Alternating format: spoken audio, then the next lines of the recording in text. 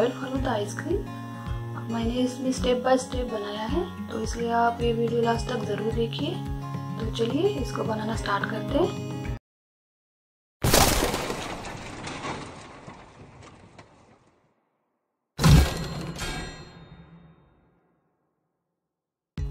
Falooda ice cream बनाने के लिए हमें चाहिए चार टेबलस्पून सेवैया, दो टेबलस्पून सब्जा सीड्स चार टेबलस्पून शुगर या एज पर टेस्ट शुगर डालेंगे दो टेबलस्पून कस्टर्ड पाउडर ये सारी चीज़ें हमें फालूदा बनाने के लिए चाहिए, और आधा लीटर दूध चाहिए। सबसे पहले हम सब्जा सीड लेंगे और इसको भीगने के लिए रख देंगे।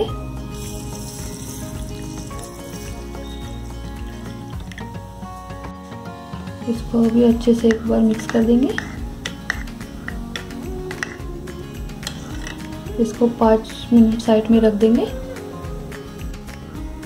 अभी हम एक बर्तन में दूध गर्म करने के लिए रख देंगे।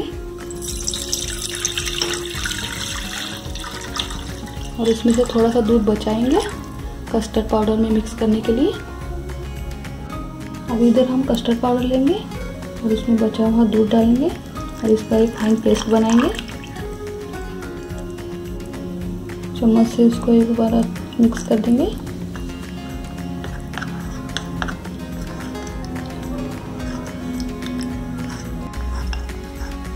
कस्टर्ड पाउडर का पेस्ट बनके तैयार है। इसको भी साइड में रख देंगे। दूध में अभी हम शुगर ऐड करेंगे। आप अपने मीठे के हिसाब से शुगर कम या ज़्यादा कर सकते हैं। शुगर को हम अच्छे से मिक्स कर देंगे।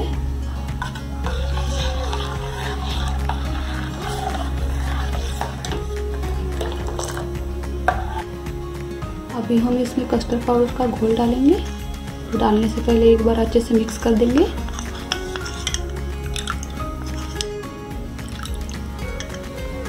अभी हम इसमें डाल देंगे।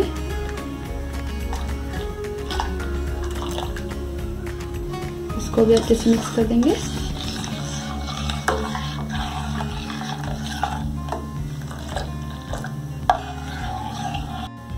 अभी हम दूध को दो से तीन मिनट गाढ़ा होने देंगे और बीच बीच में इसको हिलाते भी रहेंगे। दूध हमारा पहले से भी गाढ़ा हो गया है। आप देख सकते हैं। अभी हम गैस बंद कर देंगे और इसको साइड में रख देंगे। और दूध को हम पूरी तरह से ठंडा होने देंगे। तभी हम फालूदे में यूज़ कर सकते हैं। अभी हम सेवैया पका के लेंगे। उसके लिए एक बर्तन में मैंने पानी गर्म करने रखा है। पानी जैसे ही गर्म हो जाएगा, तब हम उसमें सेवैया डालेंगे। पानी गर्म हो गया है। उसमें अभी सेवैया डालेंगे। सेवैया को भी अच्छे से मिक्स कर देंगे। इसे एक से दो मिनट ही हमें पकाना है। जब तक सेवैया पूरी तरह से सॉफ्ट नहीं हो जाती। अभी हम सेवैया को चेक करते हैं।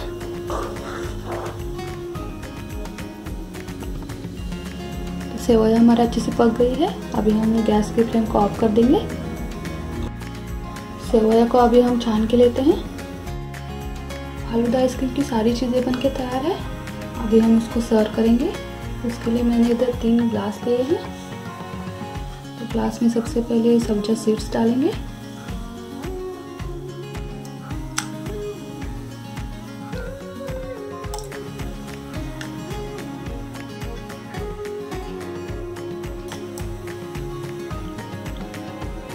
इधर इधर दो दो चम्मच डालेंगे।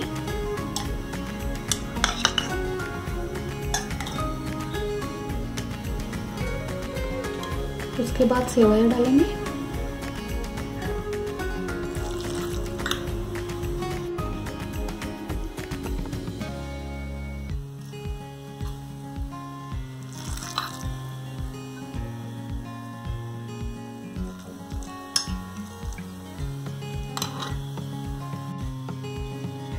के ऊपर हम दो चम्मच रोज सिरप डालेंगे।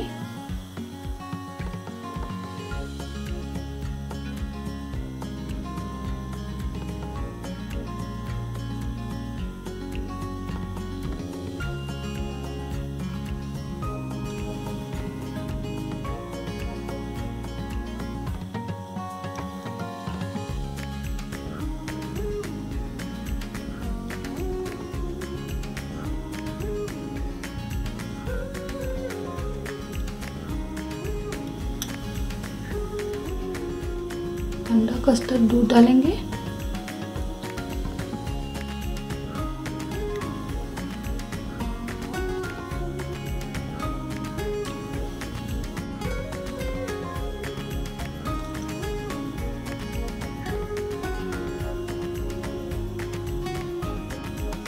अभी इसके आइसक्रीम डालेंगे। होममेड आइसक्रीम है।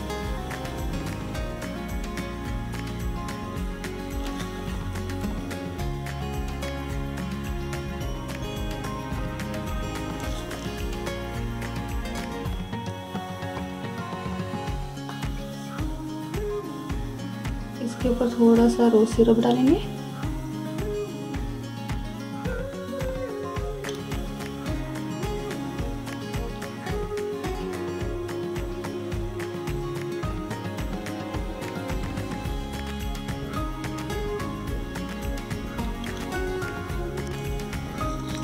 इसके ऊपर कटे हुए काजू बादाम डालेंगे। आप चाहे तो इसको स्किप भी कर सकते हैं।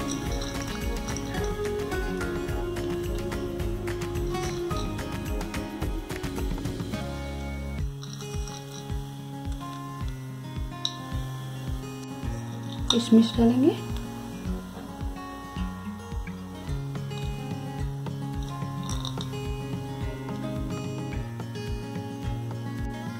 और सबसे लास्ट में टूटी टूटी डालेंगे।